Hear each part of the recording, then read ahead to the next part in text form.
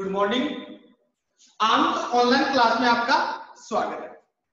हमारे कक्षा बारह के अंतर्गत जियोग्राफी में जो टॉपिक चल रहा था, वो टॉपिक चल रहा था कृषि के बारे में। इसके बारे में? कृषि के बारे में टॉपिक वो चल रहा था। जिसमें से हमने स्थानांतरण कृषि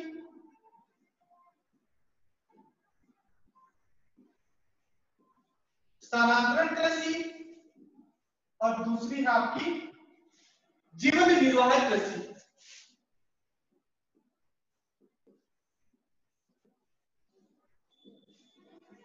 स्थानांतरण कृषि और जीवन निर्वाह कृषि इन दोनों के बारे में जानकारियों को प्राप्त वो की है। अब हमारा जो तीसरा पॉइंट रहेगा, वो रहेगा विस्तृत वाणिज्य अनाज कृषि। ठीक है? तो देखो यह माना जाता है कि वास्तव में जब जीवन निर्वाह कृषि ने क्या? जब जीवन निर्वाह कृषि ने विस्तृत वाणिज्य, अनाज कृषि का रूप धारण कर लिया, किसका? विस्तृत वाणिज्य, अनाज कृषि का रूप धारण कर लिया तो क्या है? कि मतलब इसके अंतर्गत जनसंख्या तो क्या है? जनसंख्या कम, जनसंख्या क्या है? जनसंख्या कम और भूमि का अभाव क्या है? भूमि का अभाव, सर्वाधिक। भूमि का अभाव, सर्वाधिक मिलता था और जनसंख्या का है वो जनसंख्या का भाव वो कम मिलता था, कम मिलता है। इसीलिए विस्तृत वाणिज्य कृषि को हम अनाज, विस्तृत वाणिज्य अनाज कृषि का रूप इन्होंने धारण कर लिया। किसने जीवन निर्वाह कृषि। तो विस्तृत वाणिज्य अनाज कुछ विशेषताएँ देखा जाए। देखो, दोबारा बता देता हूँ विस्तृत वाणिज्य अनाज कृषि। तो वास्तव में जब जीवन निर्वाह कृषि ने विस्तृत वाणिज्य अनाज कृषि का रूप ले लिया, या फिर धारण कर लिया तो ये तो ये कृषि है, वो क्या करने लगी? तो ये कृषि वो व्यापारिक रूप से करने को लगे। मतलब विस्तृत वाणिज्य अनाज कृषि को व्यापारिक दृष्टि से वो करने लगे। इस प्रकार की कृषि है, वो कहाँ पे की जाती है? इस प्रकार की कृषि वो विकसित देशों के अंतर्गत वो की जाती है। विकसित देशों में। विकसित देशों के अंतर्गत वो विस्तृत वाणिज्य अनाज और कृषि वो की जाती है। जहाँ भूमि की क्या है? भूमि की है। भूमि का अभाव सर्वाधिक रहता है और जनसंख्या का अभाव वो कम होता है। इसीलिए हम इसको विस्तृत वाणिज्य अनाज कृषि के रूप में मानते हैं। अब इसकी कुछ विशेषताएँ देखा जाए। तो देखो इसकी विशेषताएँ हैं? इस प्रकार की कृषि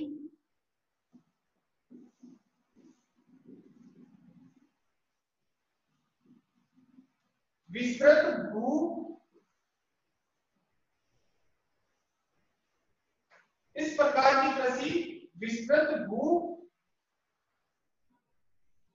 जोतों पर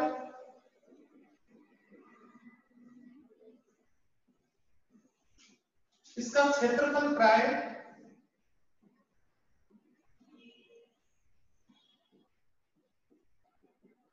दो सौ चालीस से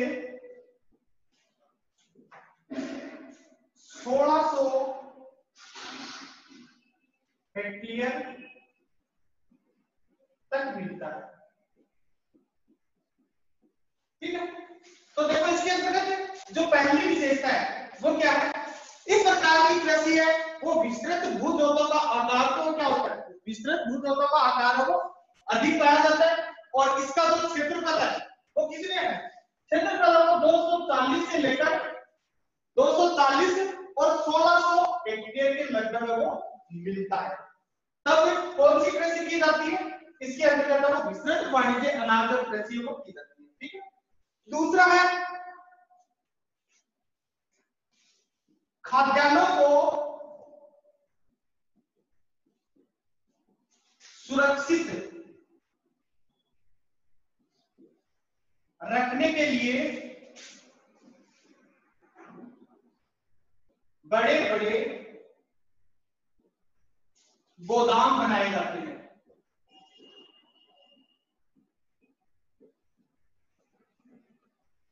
दूसरा पॉइंट क्या है इसका? कि मतलब विस्तृत वाणिज्य अनाज कृषि से जो अनाज उत्पन्न किया जाता है, या जो खाद्यान्नों को जो अनाज उत्पन्न किया जाता है तो उसके लिए क्या होता है? उसके लिए बड़े बड़े गोदाम है वो बनाए जाते हैं। तीसरा है, मानवीय श्रम का श्रम का अधिक उपयोग मानवीय श्रम का क्या होता है उपयोग है वो किया जाता है। मतलब मानव की जो मजदूर मजदूरों का काम है, वो इसके अंदर सबसे ज़्यादा वो देखने को मिलता है। चौथा है पूंजी का अभाव। पूंजी की लागत पूंजी की लागत। मतलब विस्तृत वाणिज्य अनाज कृषि के अंतर्गत पूंजी का अभाव को सबसे ज़्यादा होता है। चौथा पॉइंट है इसका प्रति हेक्टेयर उपज कम तथा प्रति व्यक्ति उपज वो अधिक होती है। पांचवा है, प्रति व्यक्ति उपज कम तथा प्रति हेक्टेयर अधिक मतलब अगर व्यक्तियों की देखा जाए तो इसके अंतर्गत प्रति व्यक्ति के अंतर्गत इसके अंतर्गत उपज है वो कम मानी जाती है। किसके अनुसार? प्रति व्यक्ति के अनुसार। ठीक है? फिर बाद इसका छठा पॉइंट है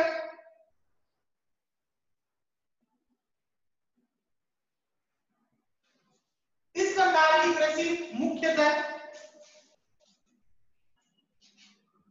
छठा पॉइंट है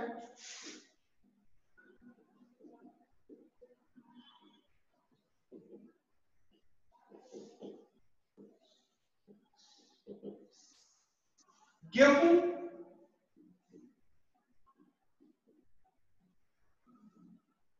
को सर्वाधिक माना जाता है। या फिर गेहूँ को, गेहूँ का उपयोग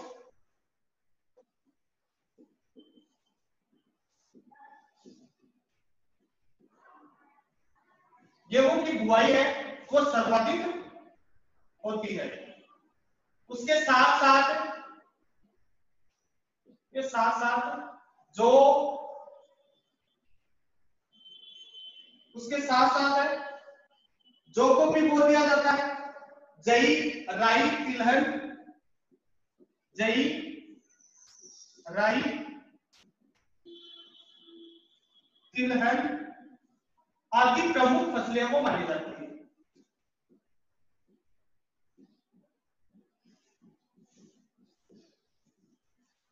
आदि प्रमुख फ़सलें वो मानी जाती है। ठीक है?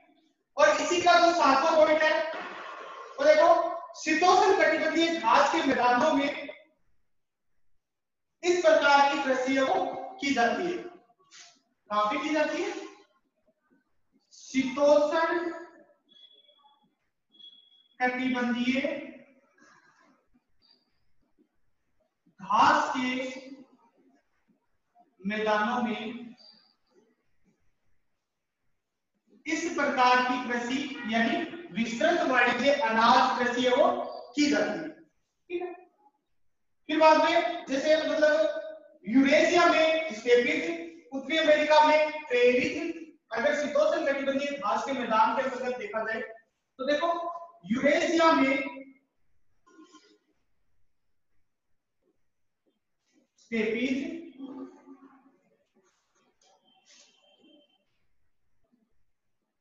उत्तरी अमेरिका में प्रेरित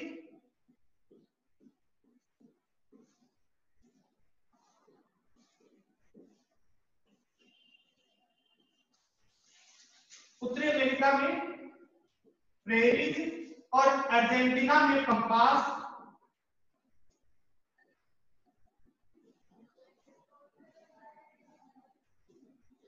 दक्षिणी अमेरिका में वेल्डर्स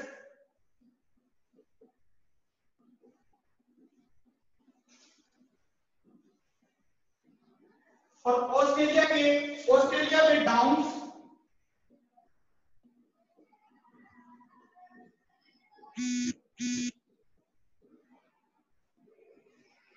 ऑस्ट्रेलिया में डाउन्स और तथा न्यूजीलैंड में कैटेगरी के मैदान।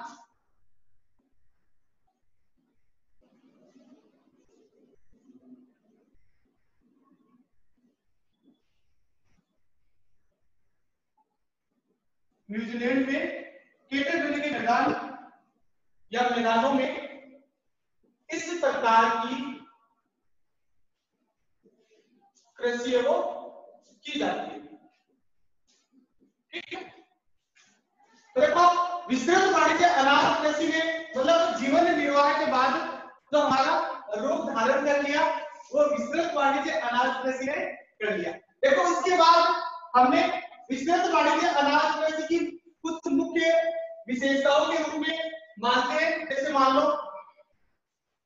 इस प्रकार की कृषि है, वो किसमें की जाती है? इस प्रकार की कृषि वो विस्तृत वाणिज्य अनाज के अंतर्गत की जाती है, जिसमें क्या होता है कि भू जोतों का आकार वो सबसे छोटा है, या फिर भू जोत के आकार वो कम भू जोतों का आकार कहा जाता है और इसका क्षेत्रफल है वो प्राय 240 से लेकर 1600 हेक्टेयर के लगभग वो मिलता है। ठीक है? दूसरा है इसके अंतर्गत खाद्यान्नों को सुरक्षित रखने के लिए बड़े बड़े गोदाम फिर भंडार है वो बनाए जाते हैं। इसको विस्तृत वाणिज्य अनाज कृषि को रखने के लिए। तीसरा इसका मानवीय श्रम या फिर मजदूर है, उसके अंतर्गत अधिक आवश्यकता है या मजदूरों की सबसे ज़्यादा आवश्यकता है वो होती है। और जो नेक्स्ट चौथा है इसका अंतर्गत पूंजी की लागत है वो इसके अंतर्गत सबसे ज़्यादा वो होती है।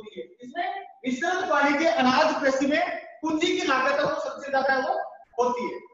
फिर बाद में पांचवा है, प्रति व्यक्ति उपज कम तथा प्रति हेक्टेयर अधिक।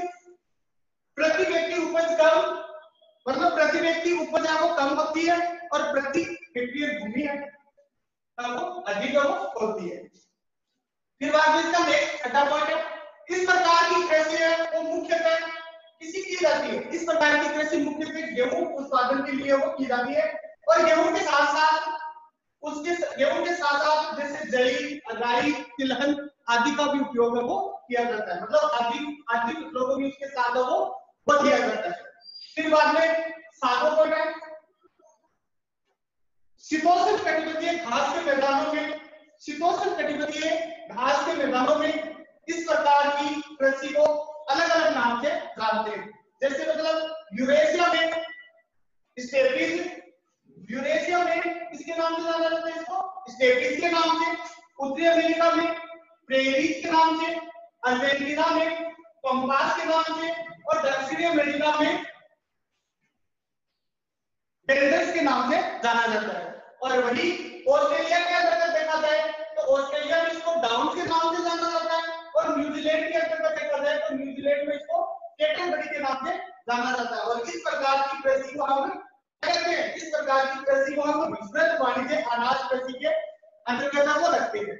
यह विस्तृत वाणिज्य अनाज कृषि वो कहाँ पे की जाती है? ये विस्तृत वाणिज्य कृषि वो विकसित देशों के अंतर्गत वो की जाती है। ठीक है? तो आज के लिए सिर्फ़ ये हमारा विस्तृत वाणिज्य अनाज कृषि के बारे में हमने जानकारी को प्राप्त की थी। तो नेक्स्ट वीडियो में या नेक्स्ट क्लास के अंदर तक हम कुछ और कृषि की जानकारी प्राप्त करेंगे। तब तक के लिए धन्यवाद।